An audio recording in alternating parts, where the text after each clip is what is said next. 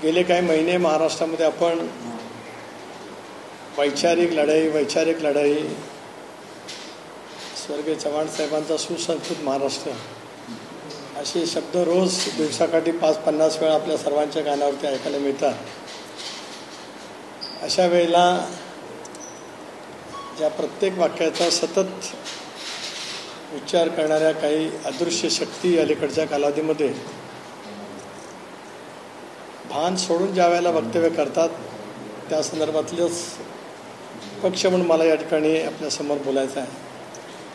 काल परवाच इंदापूरच्या एका कार्यक्रमामध्ये अजितदादांच्यावरती आणि सुनेत्रा वहिनींवरती टीका करत असतानाच संबंध स्त्री लोकप्रतिनिधींचा एकतरेचा जाहीर अपमान करण्याची भूमिका दुर्दैवाने त्या ठिकाणी घेतली गेली. खरं तर प्रत्येकाला लोकशाहीमध्ये आपलं म्हणणं मांडण्याचा अधिकार आहे. आपण कसे अधिक उजवे आहोत हेही सांगण्याचा अधिकार नक्कीच त्या ठिकाणी आहे.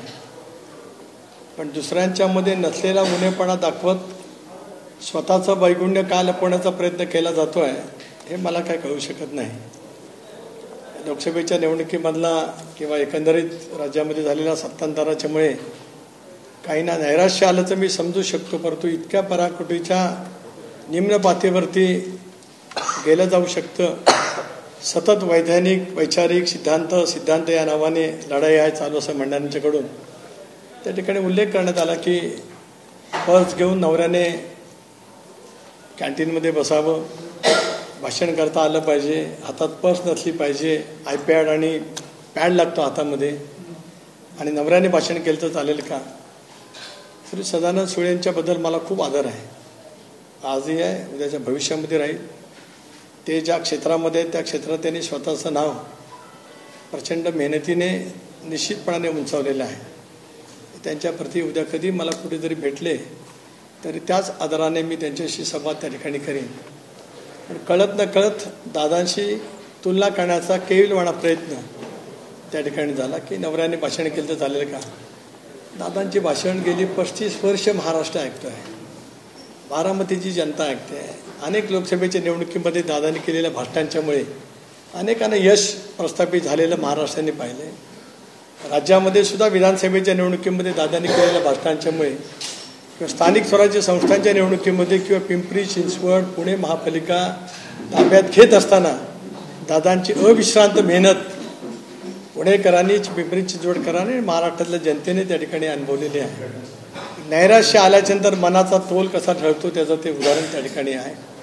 आणि त्याचबरोबर ती आदरणीय सुनेत्रा बहिणी सुसंस्कृत शालीन अभ्यासू व्यक्तिमत्व आहे. सामाजिक क्षेत्रातला शैक्षणिक क्षेत्रातला त्यांचा प्रदीर्घ असा अनुभव आहे. त्यांनाही भाषण करता येतं. आज असंच मग म्हटलं जाईल की संसदेमध्ये सुद्धा आमच्या अनेक महिला सहकारी त्या ठिकाणी आहेत. मी गेले पाच वर्ष संसदेमध्ये आहे. कोणाचा नवरा पर्स घेऊन कुठे कॅन्टीनमध्ये बसलेला मला तरी कधी आढळलेलं नाही. पण या पद्धतीची वक्तव्य ही योग्य नाही आहेत असं मला स्वतःलाच त्या ठिकाणी सांगायचं आहे. वहिनींच्या उमेदवारीच्या बाबतीमधला काही निर्णय महायुतीमध्ये किंवा पक्षामध्ये झालेला नाही. पण त्यांचं कर्तृत्व आणि त्यांचं समाजातलं योगदान कधी कोणाला त्या ठिकाणी नाकारता येऊ शकणार नाही. आणि म्हणूनच अलीकडच्या कालावधीमध्ये अजितदादा राष्ट्रवादी काँग्रेस पक्ष यांच्या संदर्भात खालच्या स्तरावरती जी काही टीका टिप्पणी केली जाते आहे ती अत्यंत निंदनीय आहे. ज्या वेळेला आपण सांस्कृतिक वारसा संस्कृतीचा वारसा चव्हाण साहेबाचा वैचारिक लढाई वैचारिक लढाई असा तावो फोडल्यासारखं ज्या वेळेला बोलत असतो त्यावेळेला हे नेमकं कुठं जातं हे काय मला त्या ठिकाणी कळू शकत नाही. काही तर जे आहेत यांचे ठाण्याच्या परिसरांतील ते तर अगदी एकेरी भाषेतच त्या ठिकाणी बोलायला लागलेले आहेत. त्यांना मला एवढंच सांगायचं आहे की राष्ट्रवादीच्या नव्याण्णव सालाच्या वाटचालीमध्ये अजितदादा मायनस राष्ट्रवादी असा विचारच राज्यातला कोणी कार्यकर्ता ना नव्याण्णवपासून करू शकला ना आत्तापर्यंत कोण करू शकेल.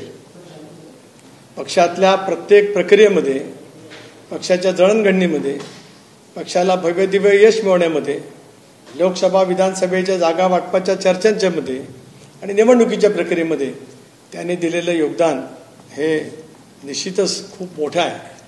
ते मला असं वाटतं की टिपणा टिप्पणी करताना ज्या विचारधारेचा वारसा घेऊन आम्ही बोलतो आहोत किमान तेवढं तरी भान ठेवावं एवढीच माझी त्यानिमित्ताने अपेक्षा आहे. आज आम्ही आगामी येणाऱ्या निवडणुकीला पूर्ण ताकदीने पूर्ण क्षमतेने सामोरं जाण्याच्या दृष्टिकोनातून सज्ज झालेलो आहोत. काही दिवसातच निवडणुका जाहीर होऊ शकतात. आता हे मी बोललं तर परत कोणतरी म्हणेल की अदृश्य शक्तीने मला काय कळवलं की काय? परंतु दोन निवडणुका मी लोकसभेच्या लढवल्या असल्यामुळे चौदा आणि एकोणीस त्यावेळेला केव्हा मतदान झालं तेव्हा केव्हा निवडणुका जाहीर झाल्या ते माहिती असल्यामुळेच मी सांगण्याचं धाडस करतो आहे त्याच्यापेक्षा काही वेगळं असण्याचं काही कारण नाही.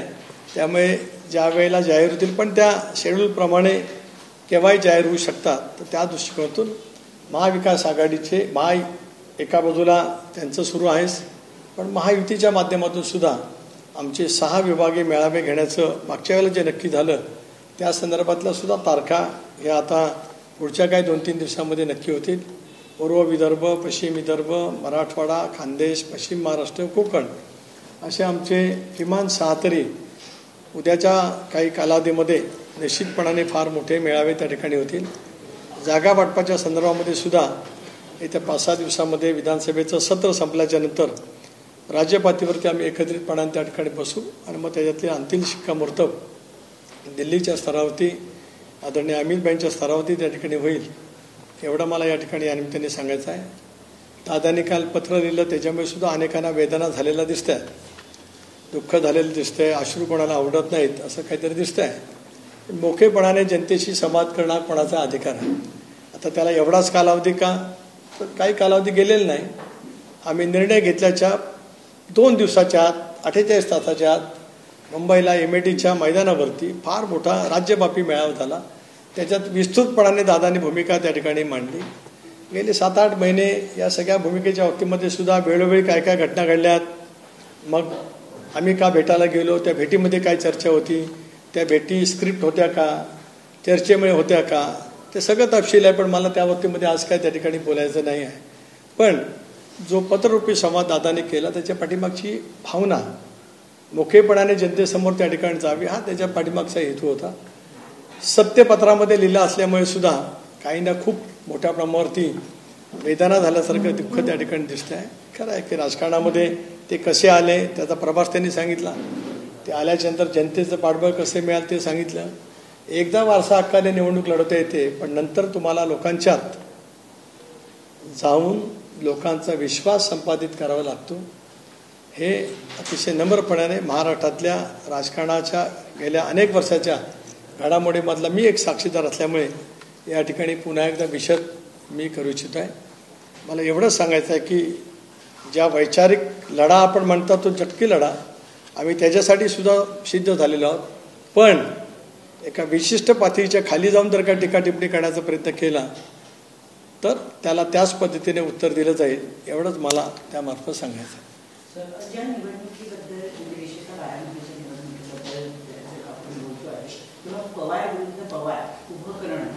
हा भाजपचा डाव होता आणि या डावात भाजप यशस्वी झाला असं उदित पवार म्हणतात. साहेब रोहित पवार बालमित्र मंडळ आहेत. अलीकडेच आता राजकारणात आलेले आहेत. मी सांगितलं ना की त्यांच्या भव्य दिव्य यात्रेला जो अभूतपूर्व प्रतिसाद मिळाला त्याच्यातून ते अजून खालीच आलेले नाही आहेत. त्याच्यामुळे त्यांना असं वाटतं. एक असं आहे की दादाने घेतली भूमिका ही मी वारंवार सांगितलं पुन्हा एकदा सांगतोय की भारतीय जनता पक्षावरती सरकारमध्ये जाण्याचा निर्णय दोन हजार चौदा सालापासून पक्षामध्ये झालेला होता.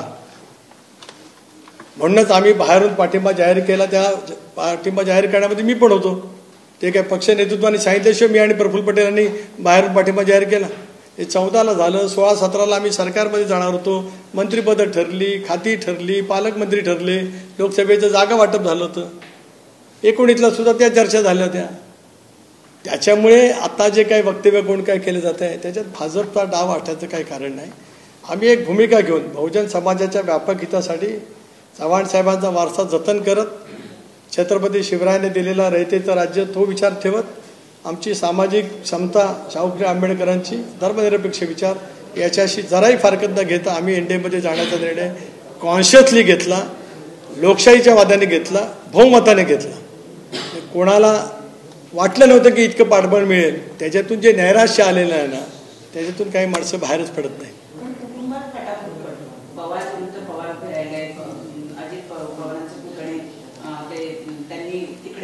केलेला आहे त्या बाबतीमध्ये मी काय बोलणार? असं आहे की शेवटी दादाने घेतलेली भूमिका ही राजकीय भूमिका आहे. आणि राजकीय भूमिकेला राष्ट्रवादी काँग्रेस पक्षांतील नव्वद टक्के आमदारांचा पाठबळ मिळालं. राज्याच्या बाहेर मिळालं. संघटनेचं पाठबळ मिळालं. पक्ष वाढवण्यामध्ये ज्यांचं योगदान होतं अशा सर्वांनी मग दादांच्या भूमिकेचं समर्थन केलं नव्हे तर त्याच्यामध्ये आम्ही सगळेजण सहभागी त्या ठिकाणी आहोत. त्याच्यामुळे मग बाकीचे कुठे कोण काय हा काय फारसा विषय तपशिलाचा येत नाही.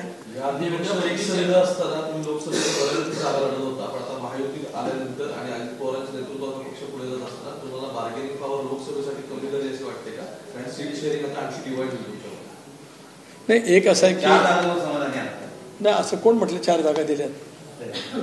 नाही नाही स्पेक्युलेशन आहे. चार जागा दिल्यात असं कोण म्हटलं? मी मगाशी सांगितलं की जागा वाटपाची चर्चा अजून तीन चार दिवसाच्या नंतर सुरू होईल. त्यावेळेला आम्हाला काय जागा वाटायच्या आहेत त्या आम्ही मांडू. शिवसेना सुद्धा त्या ठिकाणी बोलेल भारतीय जनता पक्ष सुद्धा त्यांची भूमिका मांडू शकेल.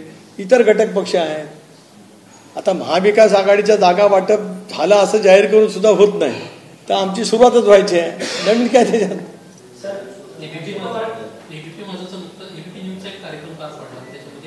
देवेंद्र फडणवीस यांना असं म्हटलं की आम्ही आमच्या आहोत आमच्यासोबत जे आलेले आहेत जुळवणी केलेली आहे. खरंच भाजपच्या विचाराशी आपण जुळवणी केलेली आहात की शाहू फुले विचारांचा वारसा आपण सातत्यानं प्रेसमधून सांगत असता किंवा बोलून एक असं आहे की देवेंद्रजींचं ते मी मुलाखत पाहिलेली नाही. एक बाब आम्ही वारंवार स्पष्ट त्या ठिकाणी केलेली आहे की आम्ही आमच्या विचारधारेशी ठाम आहोत. त्या विचारधारेशी ठाम असतानाच आम्ही एन डी एमध्ये सहभागी होण्याचा निर्णय हा त्या ठिकाणी घेतला. राज्य पातळीवरच्या महायुतीच्या सरकारमध्ये सहभागी होण्याचा निर्णय घेतला. या सगळ्या प्रक्रियेमध्ये देवेंद्रजींचा पुढाकार होता. त्यांनी खूप मोठ्या प्रमाणावरती त्याच्यातली महत्त्वाची भूमिका त्या ठिकाणी निश्चितपणाने बजावलेली आहे. त्यांचा मी आभारी आहे. सर गोष्ट एक पत्र आपलं दोन दिवसांपूर्वी त्याच्यामध्ये मोदी शहा आणि मिळती जुळती आहे अशा पद्धतीचं त्यामध्ये नमूद करण्यात आलेलं आहे. बाबतीमध्ये.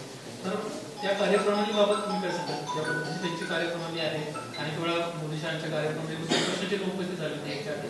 आणि आता थेट असा पत्रामध्ये उल्लेख पाहिला नाही तुम्ही फक्त तेवढ्यापुरतं सीमित बोलताय.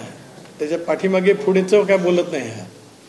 कार्यप्रणाली म्हणजे विकासाच्या अनुषंगाने भारताला गतिमान करण्यासाठी राज्याला गतिमान करण्यासाठी अशा अर्थाने ते सगळं वाक्य आहे. आणि एक बाब नक्की आहे. नरेंद्र मोदी साहेबांच्या नेतृत्वाखाली देशाने नेतृत्वक पद्धतीची प्रगती जागतिक पातळीवरती केली म्हणून विकसित राष्ट्रांच्या मालिकेमध्ये आज भारत त्या ठिकाणी आहे.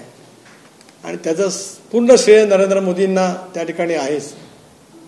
आणि अमितबाईसुद्धा सुद्धा ज्या पद्धतीने एकंदरीत देशभरामध्ये काम करतात त्याला सुद्धा त्या साऱ्या गोष्टीचं श्रेय नक्कीच आहे. अजित पवारांनी जे पत्र लिहिलेलं आहे त्यामध्ये खरं तर पहिल्या पॅरेग्राफमध्ये त्यांनी लिहिलं की मी अपघाताने राजकारणात आलो आणि खूप अ, तरुण होतो म्हणून मला राजकारणात संधी मिळाली विरोधक तुमचे जे विरोधक आहेत ते आरोप करतात की खरं तर शरद पवारांनी एकोणीसशे एक्क्याण्णव साली त्यांना लोकसभेची जागा जी आहे ती रिक्त करून त्यांना तिथे खासदार म्हणून पाठवलं. त्या शरद पवारांचा उल्लेख जो आहे त्यांनी पत्रात टाळलेला आहे. एवढा तिरस्कार का अशा प्रकारचा? दोन बाबी आहेत की एक्क्याण्णव साली पवारसाहेब राज्याचे मुख्यमंत्री होते. आपण गल्लत करतात मला विचारण्यामध्ये. एक्क्याण्णव साली साहेब त्याला खासदार नव्हते अजितदादांनी ज्याला निवडणूक लढवली त्याला साहेब राज्यामध्ये मुख्यमंत्री होते. आणि बारामतीची जागा अजितदादांनी लढवावी असा आग्रह त्या मतदारसंघातल्या सर्वच कार्यकर्त्यांनी घेतला. आता त्या बाबतीमध्ये अधिक प्रकाश दादाच टाकू शकतील. याच्यावर एक्सटेन्शन याचं याच्या आधी तुम्ही असाल किंवा इतर असाल हे शरद पवार साहेबांच्यामुळे ज्या ज्या गोष्टी झाल्या त्या सगळे अप्रूव्ह होते वेगवेगळ्या ठिकाणी भाषणात करत होते. पण आता राजकीय भूमिका बदललेली असू शकते. पण आधी ज्या गोष्टींमध्ये पवारांकडे मदत झाली त्या गोष्टी कालांतराने फक्त मागे पडत गेल्या की त्याचा जाणून म्हणून टाळल्या जातात नाही जाणून बुजून टाळण्याचा काही प्रश्न नाही. आजही आता मगाशी मला विचारलं त्यावेळेला मी साहेबांच्याबद्दल आदराची भावनाच व्यक्त केली. करणार त्याच्या पुढे जे व्यक्तिमत्व आदरणीय आहेत त्याच्या बाबतीमध्ये कोणाच्या मनामध्ये वेगळं असल्याचं काही कारणच नाही. एक राजकीय भूमिका घेतली ना मी सांगितलं ना राजकीय भूमिका आम्ही घेतली आणि ती राजकीय भूमिका घेत असतानाच पक्षांतर्गत बहुमताने लोकशाहीच्या माध्यमातून आम्ही ती घेतली. आणि ती भूमिका काय आत्ताच झाली असं नाही. मी मगाही सांगितलं की दोन हजार चौदा सालापासून भारतीय जनता पक्षासोबत सरकारमध्ये जायचं याची चर्चा पक्षामध्ये वरिष्ठ पातळीवरती सुरू होती. आता एकदमच अघटित काय घडलं आहे अशातला काय भाग नाही. शरद पवार आम्हाला मनोज जरांगेंना ज्या पद्धतीने भूमिका घेतली त्यानंतर आता यासाठी त्यांच्यावर चौकशी झाली नेमण्यात आलेली आहे म्हणजे शरद पवार त्याच्या पाठीमागे आहेत असं सातत्यानं अं, सम- आरोप होत आहेत सत्ताधाऱ्यांकडून या सगळ्या विषयासंदर्भात तुम्हाला काय वाटतं पक्षाची या अनुषंगाने काय तुमची भूमिका असेल नाही पक्षाची भूमिका स्वच्छपणाने पहिल्यापासून राहिली की सकल मराठा समाजाला आरक्षण कायद्याच्या कसोटीवरती टिकणारं दिलं गेलं पाहिजे. त्याचबरोबर ती ओबीसीच्या आरक्षणाला जराही धक्का न लागता ते दिलं गेलं पाहिजे. महायुतीच्या सरकारने एकनाथराव शिंदे देवेंद्रजी अजितदादा आणि मंत्रिमंडळाने कायद्याच्या कसोटीवरती टिकणारं आरक्षण ओबीसीच्या आरक्षणाला धक्का न लागता दिलेलं आहे. त्याचं स्वागत मराठा समाजाने फार मोठ्या प्रमाणावरती केल्याचं चित्र पाहायला त्या ठिकाणी मिळतं आहे जरांगे पाटलांची भूमिका वेगळी असू शकते. त्यांनी फडणवीस साहेबांच्याबद्दल जरांगे पाटलांचे काय वक्तव्य केलं ते सुद्धा चुकीचं होतं. तशापैचं वक्तव्याचं मी या ठिकाणी हे करतो की अशी वक्तव्य होता कामा नयेत चुकीचं वक्तव्य पूर्णपणाचं त्या ठिकाणी आहे. परंतु एकंदरीत आता जे काय आपण म्हणतात ते प्रत्येकजण आपापली भूमिका त्या पद्धतीने मांडेल. पण आज मात्र मराठा समाजाच्या आरक्षणाच्या बाबतीमध्ये सरकारने अतिशय सकारात्मक भूमिका घेतली विशिष्ट कालावधीमध्ये घेतली. त्याचं स्वागत सर्वांनी केलं गेलं पाहिजे. समाजा समाजामध्ये अंतर निर्माण होणार नाही याची खबरदारी घेण्याची आवश्यकता खूप मोठ्या प्रमाणावरती आहे. आणि विशेष करून आंदोलकाचं नेतृत्व करणाऱ्यांनी तर ती खबरदारी अधिक मोठ्या प्रमाणावरती घेण्याची आवश्यकता आहे सर यामध्ये यामध्ये मुद्दा असा आहे की प्रवीण दरेकरांनी म्हटलं की राजेश टोपे हे थेट अं, म्हणजे ह्यांचे जरांगे आणि शरद पवार यांच्यामध्ये मेडिएटर होते शरद पवारांचे वारंवार त्यांच्या थ्रू फोन जात होते जरांगेंना आणि त्यानंतर हे सगळे इथपर्यंत आलं तुम्ही सगळे सत्तेत आहात म्हणजे तिथे प्रवीण दरेकर सत्तेत आहेत तुम्ही सुद्धा सत्तेत आहात सगळे. ज्यावेळी ते हे पटलावरती भूमिका मांडतात त्यावेळी ती सरकारची भूमिका म्हणून कन्सिडर करायची का? आणि जर तसं असेल तर मग शरद पवारांवरती त्यांनी केलेले आरोप तुम्ही पण मान्य करतात नाही मला या संदर्भामध्ये काही माहीत नाही. पटलावरती की विधानसभेत कोणाची काय भाषणं झाली किंवा सरकारची काय भूमिका आहे सरकार मांडेल. पक्ष म्हणून माझी भूमिका मी मगाशी मांडली. आणि माझ्यापुरता तेवढा सीमित प्रश्न आहे. राष्ट्रवादी काँग्रेस पक्ष म्हणून मी मागाशी भूमिका आपल्या सर्वांच्या समोर ठेवली. इतर राजकीय पक्षांचे नेते जे जे आहेत त्यांना त्यांचं त्यांचं मत मांडण्याचा लोकशाहीमध्ये अधिकार आहे. त्याच्याबद्दलचे वाद प्रतिवाद खंडन करणं हा ज्याचा त्याचा प्रश्न राहील.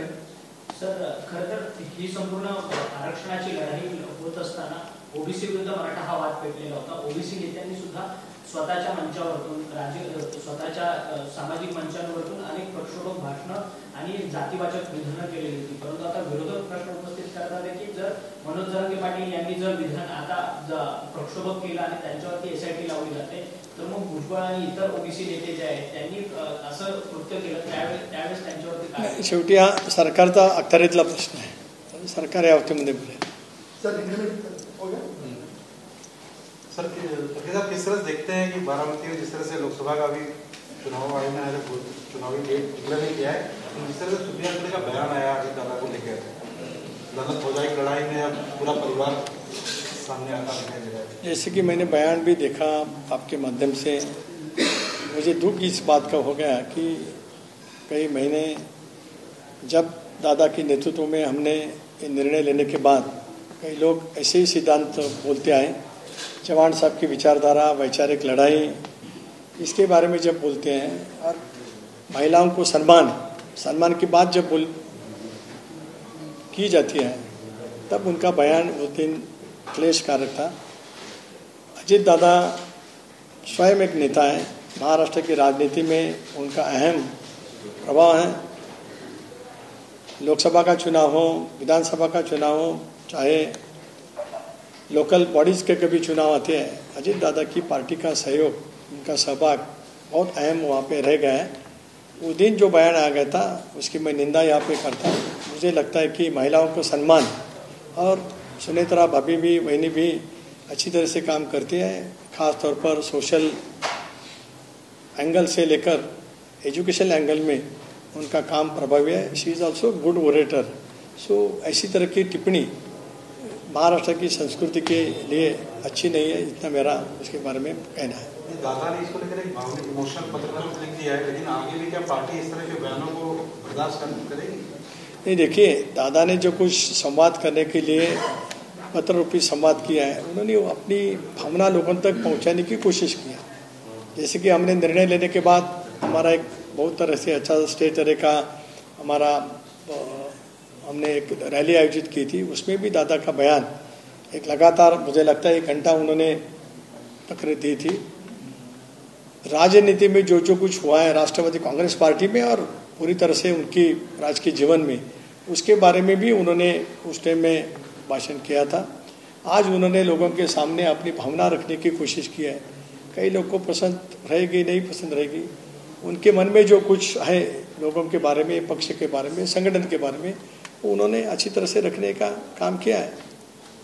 तो सीट को लेकर क्या बात चल रही है? सीट को लेकर क्या बात चल रही है?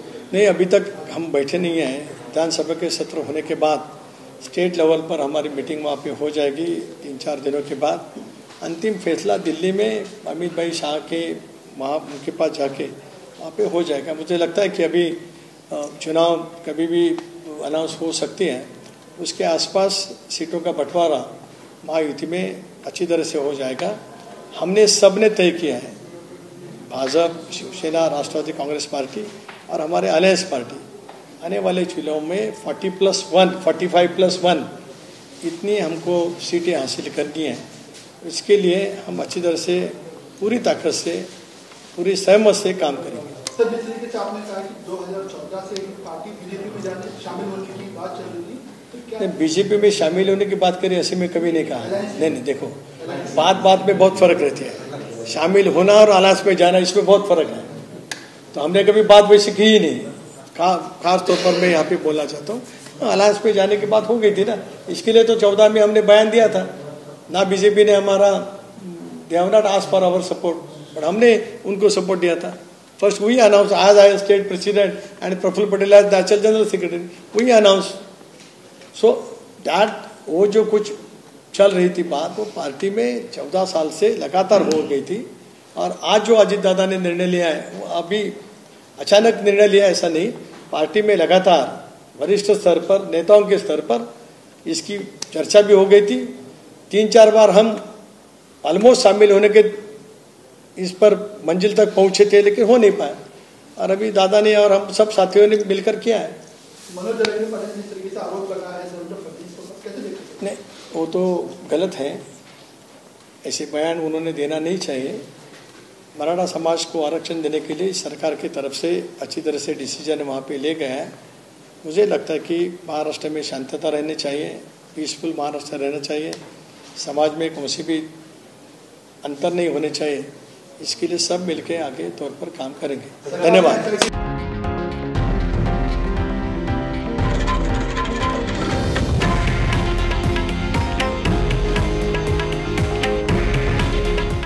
आहे देशातील नंबर वन न्यूज नेटवर्क. आणि आपण पाहत आहात टी व्ही नाईन मराठी. काळजी तुमची हित महाराष्ट्राचं.